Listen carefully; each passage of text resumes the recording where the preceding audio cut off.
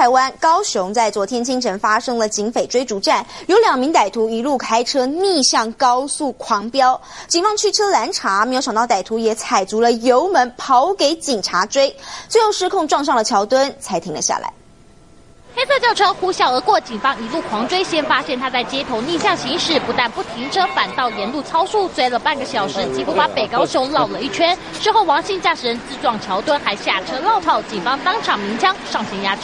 你大意讲，车你有物件哦？无。今后你出手有机会哦？无。带用就不敢快哦？无。无啊，好，要紧。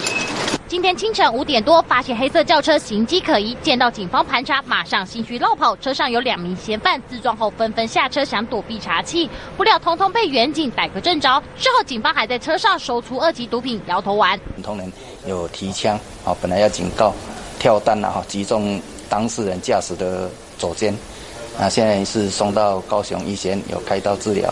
根据了解，这两名嫌犯本身就有毒品切到前科，当时鸣枪压制嫌犯，还死不认罪。好在这场警匪追逐并没有造成无辜民众受到波及。目前警方也将展开调查，厘清逃逸原因。